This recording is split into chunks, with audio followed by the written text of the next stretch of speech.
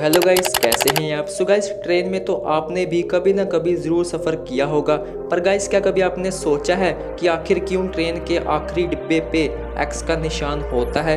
और गाइस क्या आपको इस बात का पता है कि ट्रेन की पटरियों पर बहुत सारे बड़े बड़े पत्थर होते हैं?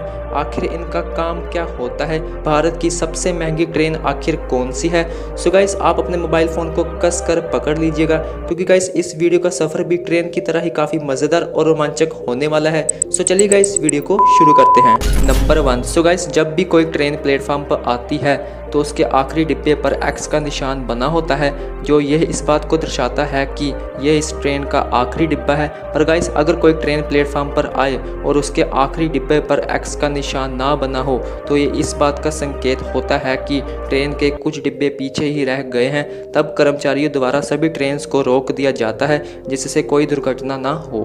नंबर टू सो गाइस आखिर क्यों ट्रेन की पटरियों पर बहुत सारे बड़े बड़े पत्थर होते हैं? सो गाइस बता दें कि जब भी ट्रेन पटरियों से गुजरती है, तब पटरियों में काफ़ी तेज़ वाइब्रेशन होती है, जिससे ये पत्थर पटरियों के नीचे लगे लकड़ियों के बेस पर फंस जाते हैं, जिससे ये बेस अपनी स्थिति से हिलते नहीं हैं और अपनी ही जगह पर रहते हैं। नंबर थ्री, सो गाइस बात करते हैं सबसे महँगी ट्रेन की। सो गाइस बता दें कि महाराजा एक्सप्रेस भारत की नहीं, बल्कि दुनिया की सबसे महँगी ट्रेनों में से एक है। यह एक चलता फिरता फाइव स्टार होटल है।